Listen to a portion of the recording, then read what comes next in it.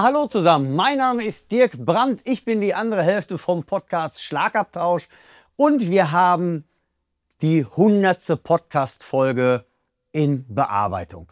Das heißt, die wird nächste Woche herauskommen und wir haben gesagt, es wäre doch mal cool, wenn ihr unser Podcast Drum Intro selber trommeln würdet.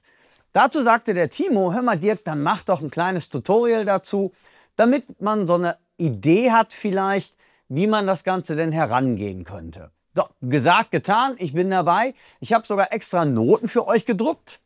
So. Die sind hier. Die könnt ihr euch entweder, äh, indem ihr unter der Podcast-E-Mail-Adresse uns anschreibt, unter meiner eigenen Adresse in der Facebook-Gruppe schreibt, hey, ich möchte gerne die Noten haben oder äh, mich selber anschreibt, brand.dirk.t-online.de, dann schicke ich euch die auch selbstverständlich zu. Aber es ist uns eigentlich viel wichtiger, ihr könnt auch euer eigenes Drum-Intro daraus machen. Ihr könnt auch eine eigene Idee, wo ihr sagtet, hey, das wäre eigentlich auch cool als Intro, das könnt ihr einfach mal aufnehmen.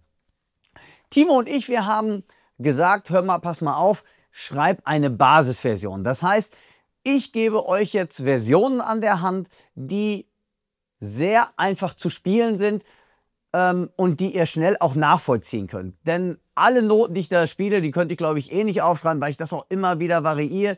Da habe ich mir auch damals gar nichts bei gedacht. Ähm, viele Leute sagen, hör mal, das erinnert, erinnert, mich total an Jeff Porcaro, der das wunderbare Mushanga bei Toto getrommelt hat. Ich, ganz ehrlich, hatte eher eine Samba im Kopf und habe darauf das Pattern so ein bisschen eingeleitet. Und die Basisversion dieses oder das, was ich mir dabei gedacht habe, das, was ich spiele auf den Toms, das möchte ich heute euch erklären. Also, los geht's. Damit ihr einen guten Einstieg in die Rhythmik der Songs habt, habe ich euch zunächst die Figur und den Handsatz für die Snare Drum aufgeschrieben. Das findet ihr in den Noten unter Beispiel 1. Da ist vielleicht ein bisschen tricky der Handsatz. Und nochmal ganz wichtig, es ist nicht original das, was ich spiele. Das ist der Grundhandsatz, die Basisvariation. Ich variiere das immer wieder. Okay, aber der Reihe nach. Zunächst auf der Snare wäre es von der Rhythmik her, die Bassdrum läuft, das finde ich ganz nett, in Vierteln durch. Und dann wäre es von der Rhythmik her eins und zwei und drei und vier und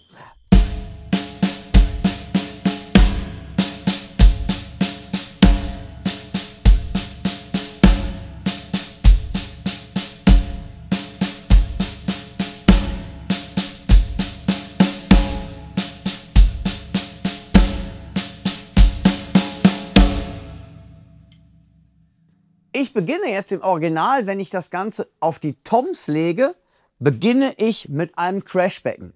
Das Crashbecken spiele ich auch hinterher zum Teil mit der rechten Hand, das geht natürlich auch, und kann dann mit der rechten Hand direkt zum Floor-Tom herunter wechseln.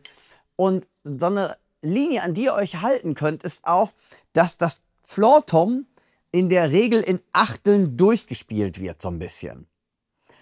Aber auch da ist es so, dass ich zum Beispiel auf der Zählzeit 2 häufiger das Floortom weglasse. Daher ist es eingeklammert. Das heißt, man kann es spielen, manchmal spiele ich es auch und manchmal lasse ich es weg. Und danach kommt eigentlich diese Paradiddle-Figur. Das heißt, ich spiele jetzt nochmal Reihe Nummer 1, das ist nicht notiert, aber indem ich die Zählzeit 2 weglasse immer. 1 und 2 und 3 und 4 und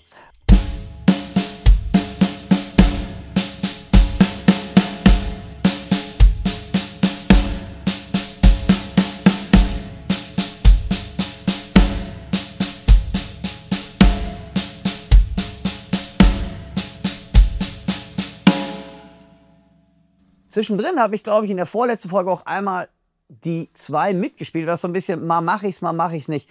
Das auch einfach so, probiert das für euch aus den Handsatz. Wenn ihr einen eigenen für euch besser empfindet, ja, dann macht es doch einfach.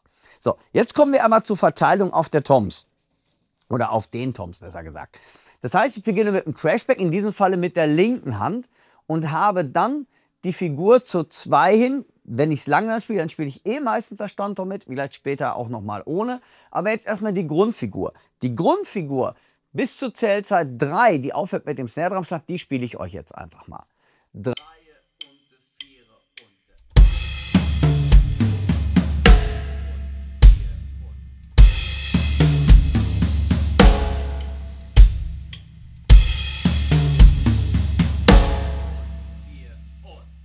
Jetzt geht es weiter, das heißt, ich spiele jetzt den ersten Takt komplett bis zur nächsten Eins.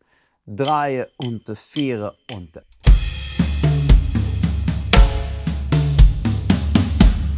Und denkt wirklich an diesen Aufgang, dass ihr mit den Toms ein bisschen lauter werdet hinterher im Standtom. So oder so, ich versuche das Standtom relativ leiser zu spielen als meine Rack-Toms oben. Drei und vier und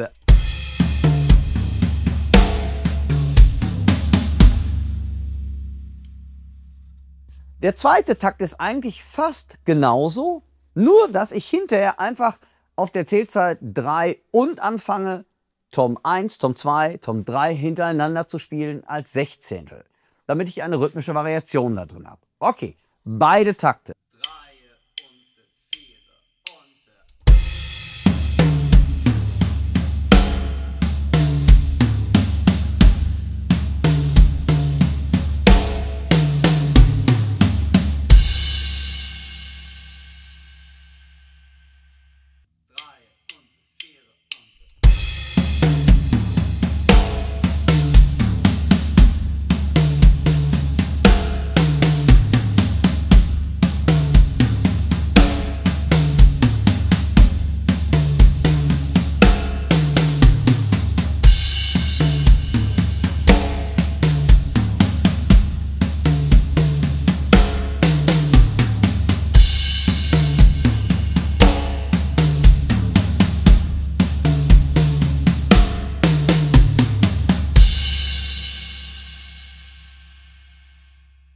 Ein bisschen schneller.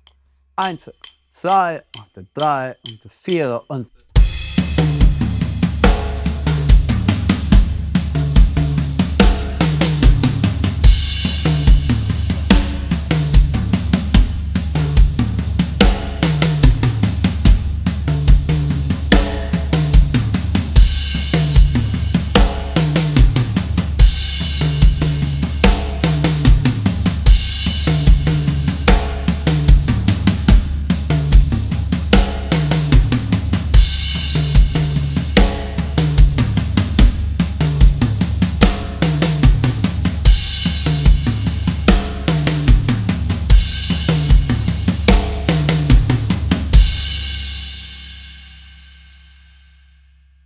Was ich jetzt gemacht habe, ich habe die Patterns auch einfach schon ein bisschen improvisiert. Ich habe mit den Toms gearbeitet. Mal habe ich die ähm, E und das D auf der Tom 1 komplett gespielt, mal auf der 2. Das heißt, geht selber euren eigenen Weg und versucht so ein bisschen herauszufinden, wie was kommt. Es muss nicht immer in so einer Reihe sein. Das ist eigentlich das Spannende dabei. Ich spiele euch jetzt mal die Figur im Originaltempo. Eins, zwei, drei.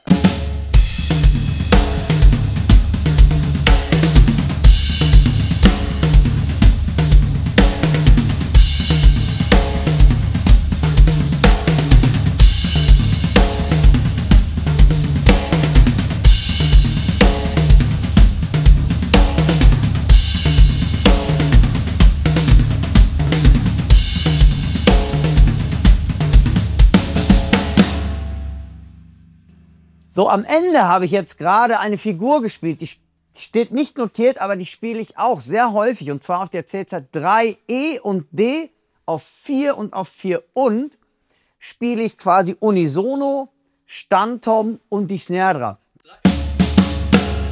Eins und der zwei und der drei und der zwei und der drei. Im Zusammenhang mit dem Groove. Eins, zwei, drei, vier.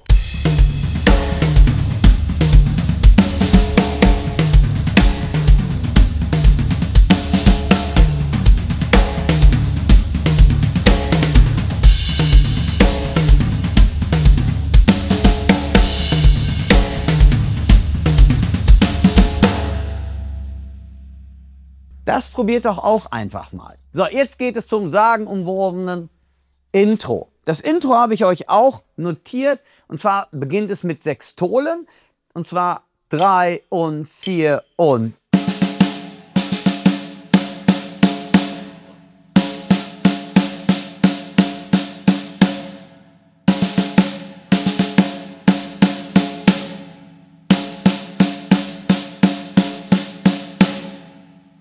Auch das ist wieder sehr interessant. Ich habe das Ganze zum Teil ausgeschmückt mit Flams. Das heißt, im Grunde mache ich dann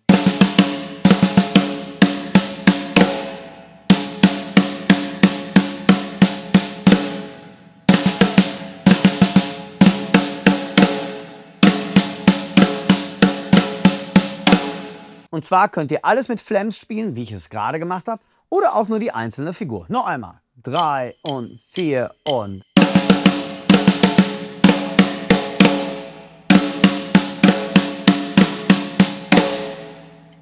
Das im schnelleren Kontext. Drei und vier und...